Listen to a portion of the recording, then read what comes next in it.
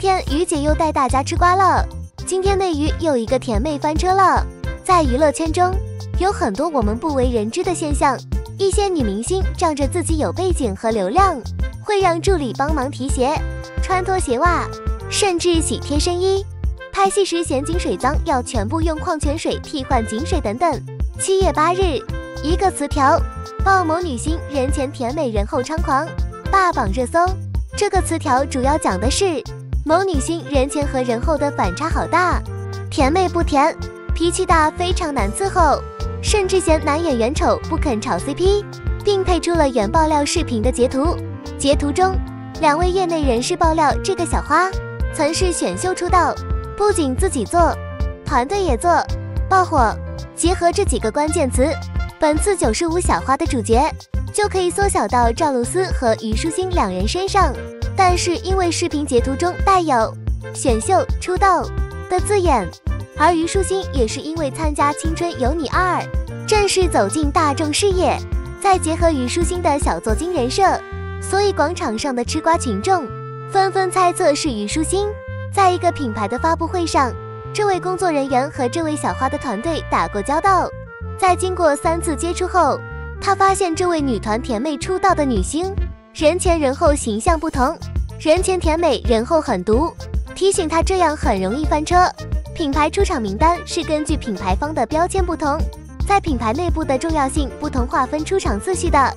而这位女星团队认为，我们明明比她红，为什么要排在她后面？去跟工作人员理论，甚至最后女星本人也为了自己番位出面，瞪着无辜的大眼睛说：啊。为什么是这样？在通知解决不了后，他就称那我以后就不参加了。还有一次是在拍摄的片场，他去年一部戏播的不怎么样，也适合合作男艺人。他认为那个男艺人的方位有高有低，他的方位比男艺人方位高，但在别人眼中都是一样的。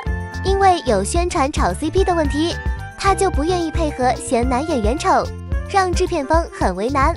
再加上宣传团队一般都是外包供应商，这也让供应商很为难。另一位工作人员也表示，他不仅自己做，还想带着他身边的人做，整个团队都很做。和他一起演戏的配角也跟着变得做起来。这些配角受到了导演的批评，称你们想清楚了，人家做是因为背靠某某某，你们背靠谁？称他的行为带坏了圈内的风气。这件事也让两位爆料人员想起金星说过的一句话：“小丫头片子还是两副面孔。”有人称选秀出道的一看就是虞书欣。虞书欣去年也有并不太火的作品《月光变奏曲》，但也有人称是赵露思。赵露思偷偷藏不住，一直在营销。两家粉丝还在评论区里差点打起来，互放对家的黑料，称对方就是那个九五后人前人后不同的小花。随后。虞书欣的粉丝做出反击，原来视频截图中的选秀出道，并不是说这个瓜，而是业内人士同期爆料的一个选秀出道的男艺人的瓜。那为什么要恶意 P 图加到九五小花耍大牌这个料中呢？是不是刻意引导大众去认定是虞书欣呢？也就是说，原视频中并未提及这个九十五小花是通过选秀出道的。再者说。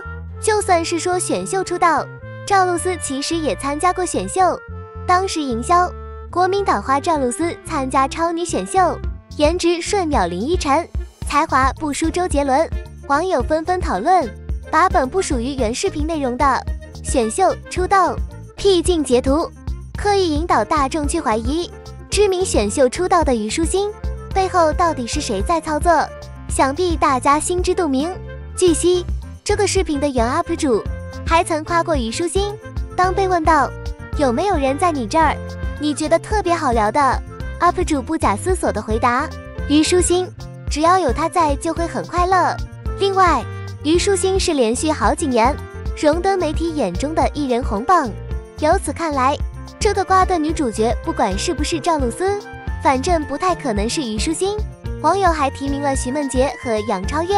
但是两人都没什么爆款剧，背后也都是小公司，二人的可能性也几乎可以排除。所以你觉得这位甜妹不甜的九十五小花是谁呢？反正于姐觉得不是露丝，可以说赵露思是现在很多新生代小花都望尘莫及的存在。赵露思的资源究竟有多好？一年五部大女主剧，这边演完庆功宴都来不及参加，又接连下一场。刚出道就和金圈格格关晓彤演对手戏，戏份堪比女主。非科班出身的她，说出道就出道，出道几年，演的每部剧都是女主。但赵露思如果放在以前，她绝对不可能火起来，甚至只能演丫鬟或者恶毒女配，并不是颜值不够，也不是贬低她，没其他原因，就是因为她是圆脸，上镜显胖，自带喜感。一百斤的身材，却长了一百二十斤的脸，并不是那时娱乐圈流行的尖脸苦情女主，但是她依旧火了。她之所以火起来，全托了赵丽颖的福。如果不是赵丽颖用包子脸赢得了观众的喜爱，那么娱乐圈的审美会一直停留在瓜子脸、卡姿兰大眼睛里。要知道，精英女神赵丽颖可是当了十年的丫鬟，才熬出了头，成为了如今的一线顶流。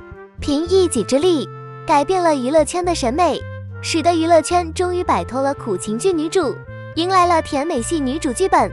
赵露思的出现，颜值虽然不如赵丽颖，但是长相非常的甜美，成功捡漏。由于赵露思的长相非常契合剧情，稍加宣传，顺理成章就火了起来。虽然都是演的都是小成本网剧，赵丽颖也不可能看得起，她也兢兢业业的靠小成本网剧火了。不能选择剧本，却能选择努力。为了演好一场戏，可以来回重拍几十遍。男主还换了又换，如今才二十四岁，他已经主演好几部电视剧。但凡他打磨好演技，未来绝对可期。人在家中坐，资源天上来。就算很多背靠资本的童星，都不是他的对手。他不像杨幂，脱口而出一些经典语录，也不像袁泉成熟内敛。而是每天都活得像个太阳一样，这种性格非常的妙。异性觉得他好看又不高冷，粉丝觉得他没有偶像包袱，很亲近。人们往往都非常喜欢这类型的人，也爱和他们做朋友，因为他们可以给人带来欢乐。虽然在屏幕面前看着开开心心，赵露思在背后也没少努力，就是那种你身边，你以为他上课开飞机，其实在默默努力。却就不告诉你的同学一样，没有人的成功是一蹴而就的。网剧一姐赵露思也一样，但是聪明的人都具备一颗平常心和淡定的心态。陈芊芊的角色，赵露思前前后后进了五次剧组，才拿下了这个角色。而且当时传闻中的陈芊芊并不是一部很好的剧，甚至可以说剧情都不能细究，非常雷人，甚至有些明星都不会接。但是对于新人的赵露思来说，不管好剧还是烂剧，低成本还是高成本，有戏就努力去拍。赵露思这么漂亮，和她合作这么多男明星，个个都是颜值爆表的，难道就没有因戏生情吗？肯定有过，只不过赵露思很好的把控了尺度。当你以为我在跟你暧昧，想进一步的时候，他会告诉你只是好朋友。所以每次你们看他和那些合作过的男演员。每次片场都玩得那么好，可是男女之间有纯友谊吗？凭借这种万花丛中过，片叶不沾身的行为，所以出道几年，他也硬是没有被锤实过一段恋情，连炒 CP 的对象，娱乐八卦也只捕风捉影到八竿子也打不着的杨洋。赵露思还没火的时候，在一档综艺节目当嘉宾，结果被未成年人当场表白。面对表白。一般女生都会害羞腼腆，但是赵露思却完全没有，甚至不愿意男孩子继续表达，一直眼神暗示。我想她当时一定是怕男孩破坏她第一次节目漏镜，毕竟以后想进军演艺圈的。由此可见，赵露思的异性缘非常好，长相是很多男生喜欢的一款，一旦撒娇，没有男生能受得了。赵露思的性格只给人一种大大咧咧的感觉。